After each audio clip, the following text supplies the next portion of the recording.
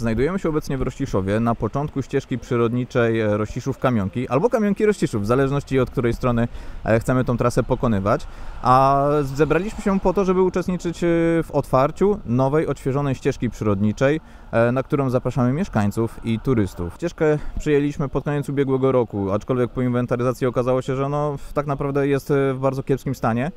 E, ale zależy nam na tym, żeby takie ścieżki w e, gminie Piszyce funkcjonowały. E, Przede wszystkim chodzi o ich walor edukacyjny, a to jest trasa, którą bardzo lubią nasze pieszyckie szkoły i często uczestniczą tutaj w wycieczkach, w marszach, tak naprawdę dobrze się bawiąc, a przy okazji edukując, poznając e, to, co się dzieje w lesie. Przy trasie znajdziemy wiele tablic e, informacyjnych, e, które opisują e, funkcjonowanie lasu, środowiska, e, opisują jak rodzi się łąka, dlaczego las jest samowystarczalny. Możemy porównać na przykład e, tropy zwierząt, które mamy przedstawione i poszukać ich e, w terenie.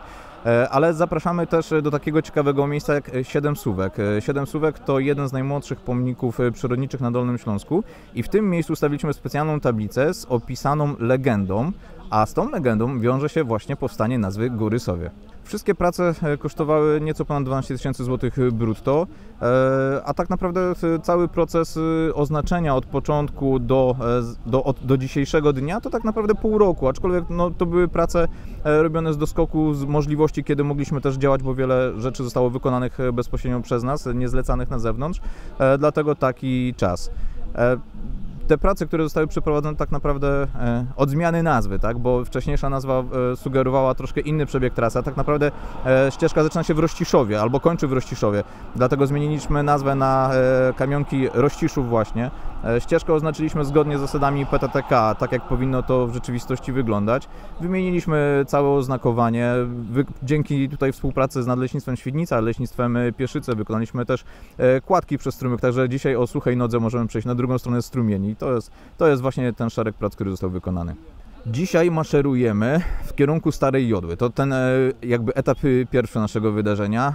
E, Są już z nami turyści, mieszkańcy Pieszyc, powiatu, ale i okolic.